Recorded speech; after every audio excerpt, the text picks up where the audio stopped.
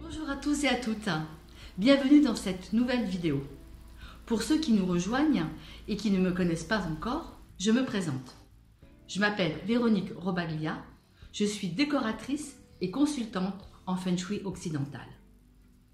Depuis toute petite, je suis sensible, particulièrement sensible, à l'ambiance des lieux et des habitations. Et ma profession m'a permis et me permet d'avoir des astuces et de comprendre ce qui se passe et de vous transmettre mes meilleurs conseils afin d'être mieux chez vous. Alors nous allons voir dans cette vidéo comment avoir plus de lumière chez vous. La lumière joue sur le moral, n'est-ce pas? Et en particulier, si vous habitez dans une maison aux petites ouvertures, où il fait souvent pas très beau, eh bien, autant plus avoir envie et avoir besoin d'apporter de la lumière dans son intérieur. Nous allons voir maintenant avec 10 astuces comment faire. Alors, pour gagner de la lumière et voir la vie sous son meilleur jour, voici 10 astuces testées et approuvées. En 1, jouer la couleur. Les blancs cassés, le beige, les jaunes clairs et lumineux évoquent une ambiance estivale. Si vous choisissez deux coloris, décorez le mur face à la fenêtre avec le ton le plus clair. Ainsi, la pièce sera plus lumineuse. En deuxième astuce, évitez les tons très foncés sur tous les murs. Les bruns, les gris, les gris foncés, le noir, le gris anthracite sont tendance. Mais ces couleurs absorbent la lumière et peuvent à la longue créer une atmosphère pesante. Astuce numéro 3. Éclaircissez les poutres du plafond avec une peinture claire, avec un badigeon ou une céruse qui laisse entrevoir le veinage du bois. Ceci est favorable si vous habitez dans une maison ancienne où il y a beaucoup de poutres. Pensez toujours que la lumière vient par le haut des fenêtres. Astuce numéro 4. Jouez avec les aspects des revêtements. La peinture brillante, laquée, la peinture satinée active la lumière. Pensez-y. Et c'est la même chose quand vous choisissez du papier peint.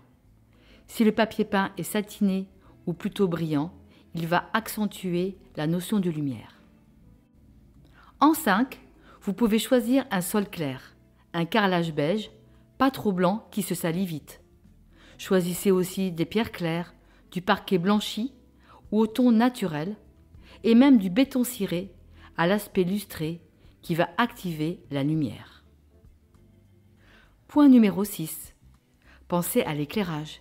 Et j'insiste vraiment sur ce point. Trop d'habitations et de logements sont pourvus d'une seule ampoule centrale par pièce. Et c'est sinistre. Multipliez les sources de lumière artificielle.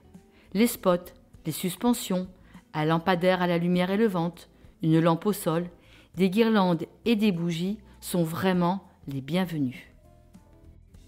Point numéro 7. Ajoutez un maximum de lumière naturelle.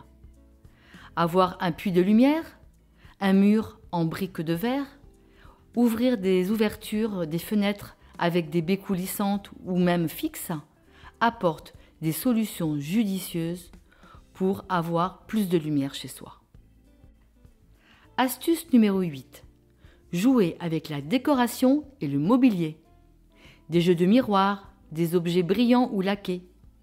Des portes intérieures en verre ou en plexiglas augmentent l'afflux de lumière, parfois avec plus de 20% dans la pièce. Pensez-y. Point numéro 9. Osez le clair pour des meubles imposants, comme le choix d'un canapé, d'une bibliothèque ou du bureau. Vous pouvez également relooker en repeignant en clair votre meuble préféré s'il est en bois foncé. Et puis, si vous avez peur que votre canapé soit rapidement sali par les enfants, eh bien pensez à ajouter un plaid que vous retirez selon les circonstances de réception. Et enfin, astuce numéro 10. Oubliez les doubles rideaux épais et opaques et misez sur les voilages ou les tissus semi-transparents, c'est la tendance, qui gardent lumière, luminosité, apporte douceur et convivialité. Je vous remercie de votre écoute et de votre fidélité. Si vous avez des problèmes d'éclairage ou de lumière dans votre habitation, mettez un commentaire sous cette vidéo. Nous vous répondrons avec plaisir. Je vous dis à très bientôt.